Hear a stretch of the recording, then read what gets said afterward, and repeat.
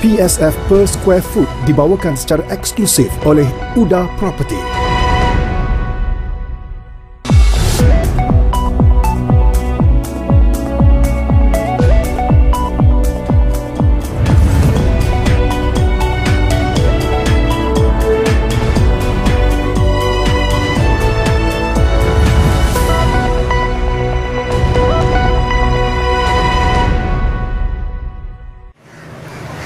Kini di Melaka berjalan-jalan nak tengok projek di Kampung Morton. Ah, Assalamualaikum warahmatullahi wabarakatuh. Bersama saya Fazli Aziz dalam rancangan PSF.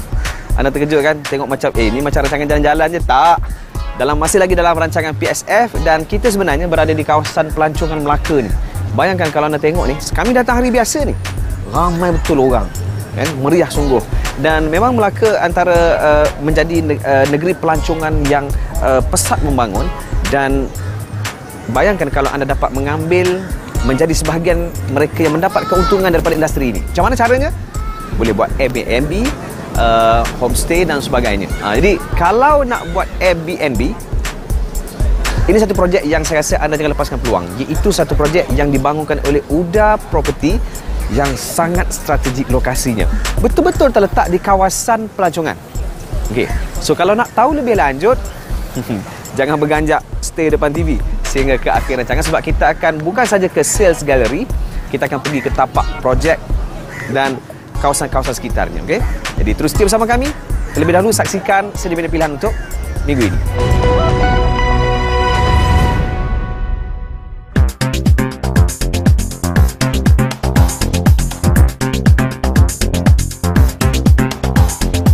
Ini adalah salah satu lagi masjid yang cantik di Melaka iaitu Masjid Tanjung Keling bertingkat tiga dan oleh kerana ia dibina pada zaman uh, Inggeris jadi genting yang digunakan adalah genting tas yang merupakan genting bumbung yang yang eksklusif pada zaman tersebut ya dan genting ini adalah genting uh, Marseille yang berkepungan di, diimport daripada Marseille juga daripada Perancis.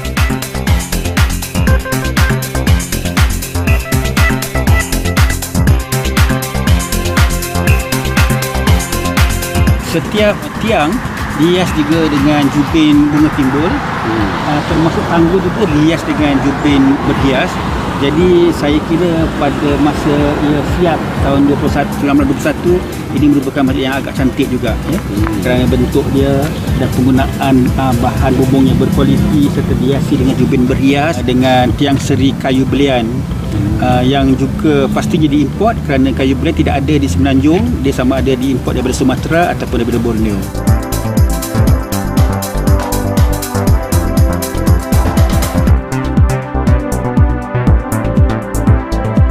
yang baik uh, masjid ini kerana untuk memastikan kenyamanan jemaah di dalam mereka tidak tutup siling. Tetapi pengudaraan asal uh, dibiar terbuka Merana kalau kita duduk di dalam kita akan lihat puncak bumbung tersebut dibuka uh, dengan loteng yang ada uh, di mana udara panas akan senang keluar dari bawah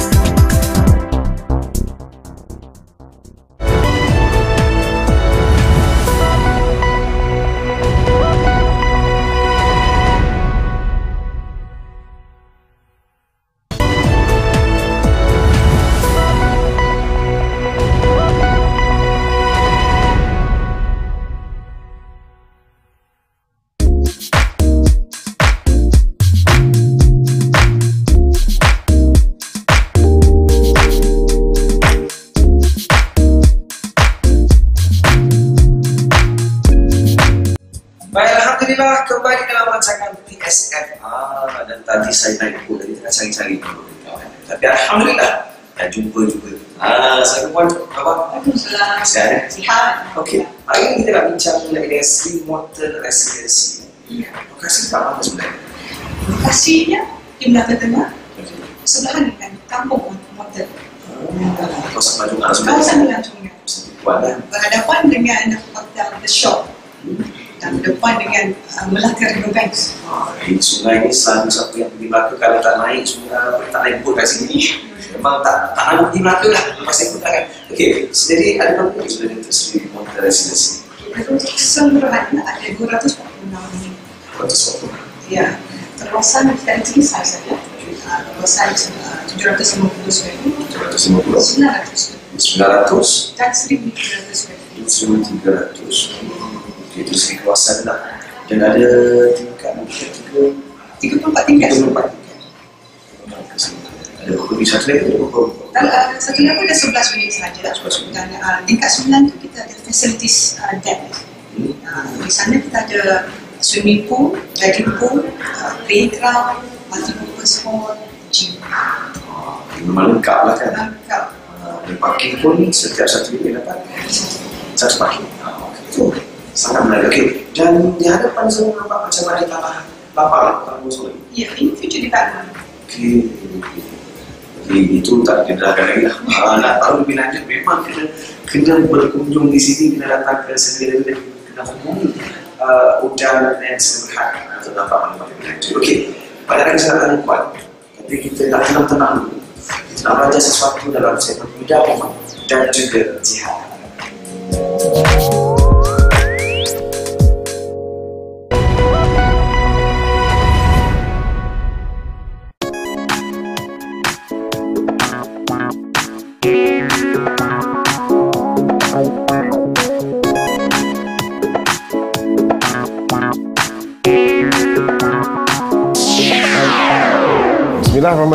Assalamualaikum warahmatullahi wabarakatuh. Okey, uh, udah momen minggu ni lain sikit. Teka saya ada di mana?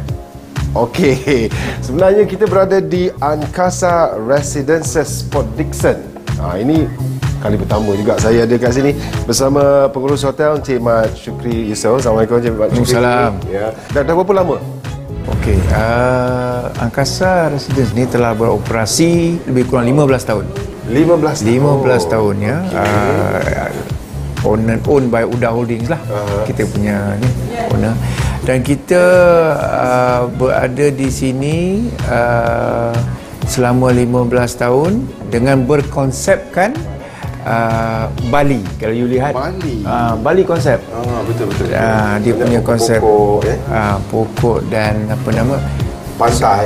pantai dengan swimming pool tapi sebelum saya terlupa lokasi Ah. lokasi di Batu 8.5 jalan ah, pantai Teluk Kemang Maknanya ni di Teluk Kemang kan? Di Teluk Kemang. Saya ingat lagi Datuk Taj ada kata yang siapa yang nak experience pergi mencerap anak bulan Ah, yes. boleh duduk di sini. sebenarnya uh, mencari anak bulan di sebelah kita Ah. ah. di Seribu Bulan tu Ah. dia orang boleh tengok Jadi apa aktiviti lain yang yang boleh dilakukan di sini? Okey di sini uh, sebenarnya kami uh, punya berkonsepkan sebenarnya family pun boleh uh, uh, untuk Company pun boleh? company pun Corporate boleh pun boleh? corporate pun boleh individual pun boleh perseorangan pun boleh Aha. sebab uh, kami punyai satu keluasan agak luas jugalah padang yang boleh digunakan untuk family day Oh. dan yang untungnya kami ni pula bersebelahan dengan pantai Pantai, ya. dah sampai minit je dah Mana boleh jalan ke pantai Sebelah terus? je. Okey. Dan uh, katanya kalau kalau corporate datang ke sini kan, uh, ada ada dewan yang luas Yes, untuk di sini kami mempunyai 9 dewan. Dewan kami boleh mengisi 10 sehingga 600 orang. Oh, di suatu masa. besar dan jumlah bilik lah. Jumlah bilik kita ada 170 unit. Di sini kami mempunyai uh, dua swimming pool sebenarnya. Hmm, cantik, Ah, besar. ah, Swimming pool yang besar untuk orang dewasa, kanak-kanak. Satu di sini dan satu di hujung padang sana. Kami juga mempunyai spa. Oh, Ah, kami ada satu boleh urut pusat perempuan spa. saja lah. Yes, perempuan. Ah, dan kita selain daripada itu kita punya coffee house Hmm, spa dari Bali juga. dari Bali dan dia punya tukang urut pun dari Bali uh, diimport khas daripada Indonesia dan apa ni rekreasi ni termasuk juga family day kalau mereka perlukan uh, untuk mengadakan games dan sebagainya kita ada menyediakan juga. Dan kita ada menyediakan satu apa nama fire fire show Oh, Fire show. Uh, itu setiap apa hari? setiap ha- ujung minggu Aha. kita akan adakan satu fire show di sebelahan swimming pool ni Hmm. yang dilakukan oleh staff-staff saya sendiri. Saya berharap kepada uh, penonton-penonton di luar sana yang belum pernah kemari uh, sila-silakanlah datang dan lihat sedikit keindahan yang berada di, uh, yang ada kami sediakan di sini dan saya yakin insyaallah mereka akan berpuas hati dengan uh, apa apa yang akan kami adakan di Ya. sini.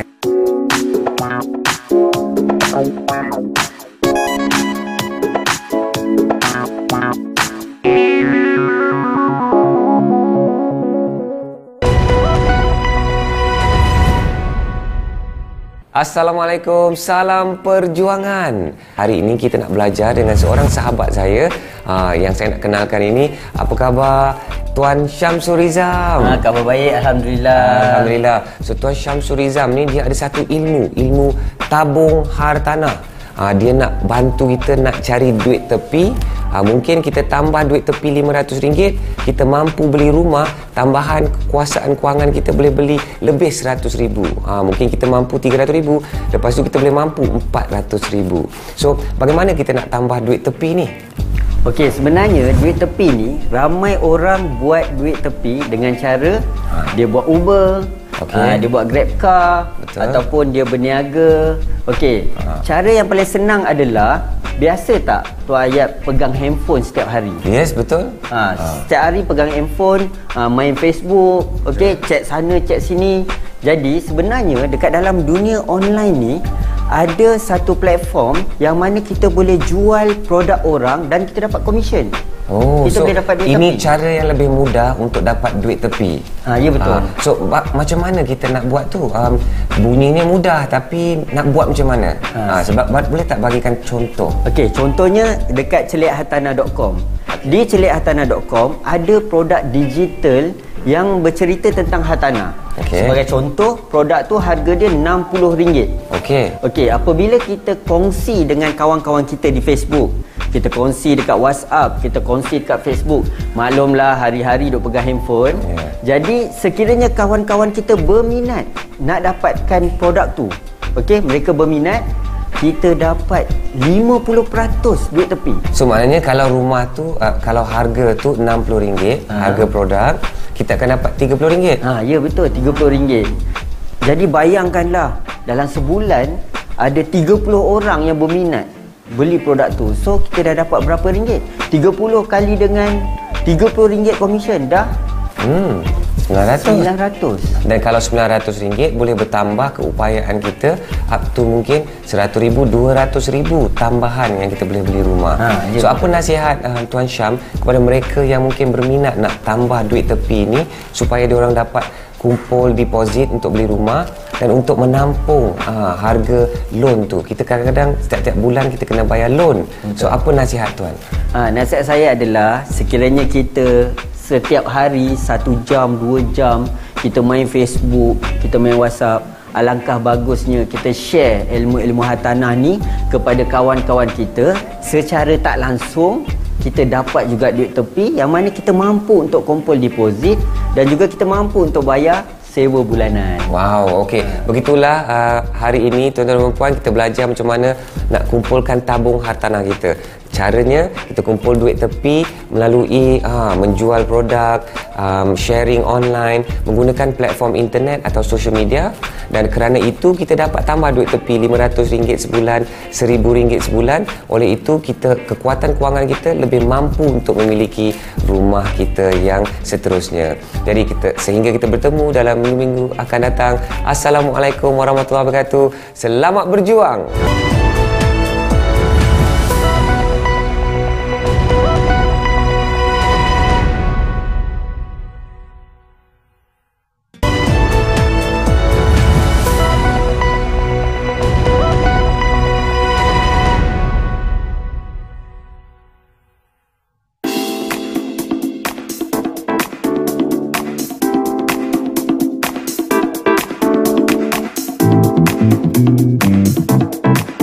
Alhamdulillah masih lagi bersama PSF. Uh, kalau tadi kita saksikan skill model ya, di galeri jualan tapi sekarang ni kita berada di tapak projek. Ha, betul-betul kami bawakan anda di kawasan lokasi ni supaya anda boleh tengok sendiri apa yang ada di sekelilingnya.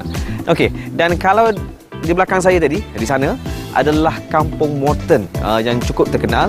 Sebelah kanan ni adalah sungai uh, yang sangat famous uh, bagi negeri Melaka dan juga hotel.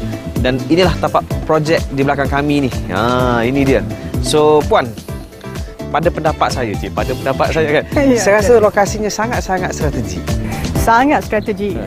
Pertama pertama ialah bandar uh, bersejarah Melaka dan kita berada di Melaka Tengah dan bersebelahan dengan Kampung Morton iaitu kampung warisan ya, yang kakak sini bina uh, kampung Melayu dan dikelilingi oleh institusi pendidikan UiTM it's a walking distance dah uh, ya kat sini. Jadi is um, a good potential investment. Kami memberi peluang kepada kira kampung Morton ni Ya. untuk anak-anak mereka dan cucu-cucu the next generation untuk berpindah uh, apa ni kira buat potential investment di sini. So berdekatan dengan uh, keluarga mereka Oh, okey. Maksudnya uh, satu inisiatif yang baik dilakukan oleh UDA lah untuk nak uh, mengekalkan generasi itu berada di sini betul juga. eh? ya Ah, dan dari segi seni bina pun saya tengok kampung motor sangat cantik. Jadi ada tak elemen-elemen yang dimasukkan? Ya, sudah tentu soalan dia. sebab kami kita di Melaka kan. Ah, Jadi ah, ada elemen-elemen yang akan kami terapkan. Bayangkan anda dapat satu uh, unit yang uh, mewah uh, dan juga cantik. Dalam masa yang sama dapat lagi elemen-elemen Melayu Melaka eh. Uh, elemen yang tidak jauh daripada kampung mountain itu sendiri. Jadi sangat menarik. Okey. Nak sembang lebih panjang pun kena tengok sendirilah, kena datang sendiri. Uh, apa pun kita akan berehat seketika dan kita akan terus bersama segmen Pusaka Oh Pusaka.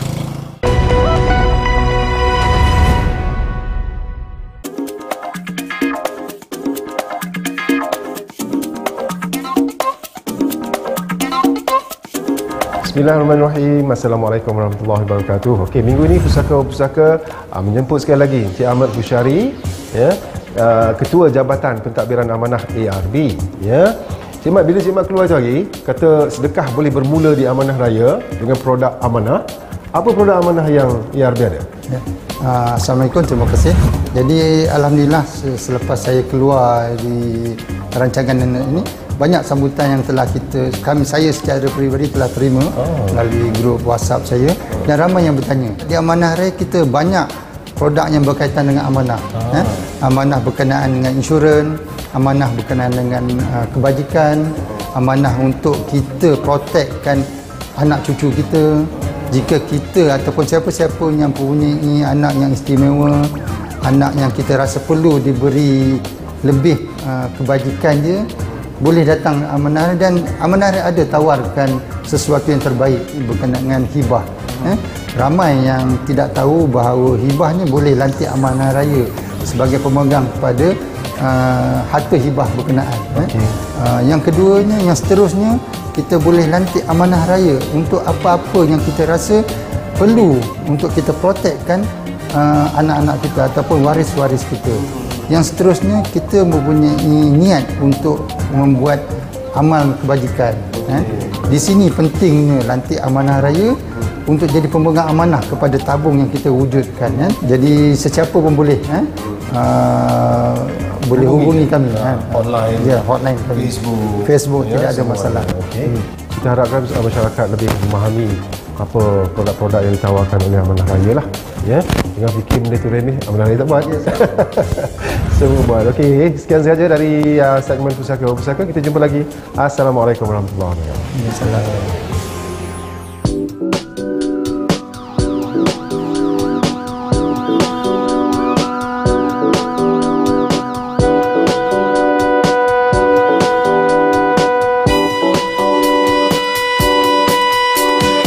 Ah, akhirnya sekejap saja PSF dah sampai ke penghujungnya dan sebenarnya buat saya rasa macam dah jatuh hati kat Kampung Mountain ni. Kenapa tu Ustaz?